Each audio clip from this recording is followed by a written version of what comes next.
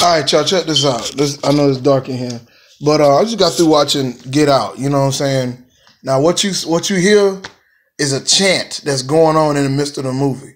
You know what I'm saying? I don't know if y'all know anything about you know works of darkness or anything like that, but I warfare against that type of stuff, and uh, this is why I don't go to the movies. This is why I don't watch TV because you know the government is taking over everything concerning television and media.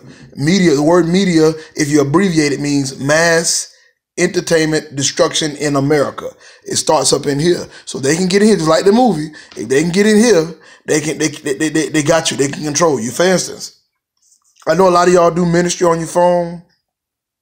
I know a lot of y'all do a lot of stuff with your phone, Facebook, you know, social media, networking, with music or whatever. But watch this. You ain't never thought about this. You ever put your phone inside your, like you go to a hotel room and put your phone in your pocket with your key, your room key, and then you take the key, room key out, what happens? It stops working. The room key stops working. You gotta get another one. Why? It was desensitized. It was it, the sensors were broken off the phone, so it no longer has uh, uh, availability or it doesn't have any it doesn't have any um any activity. It, it doesn't work.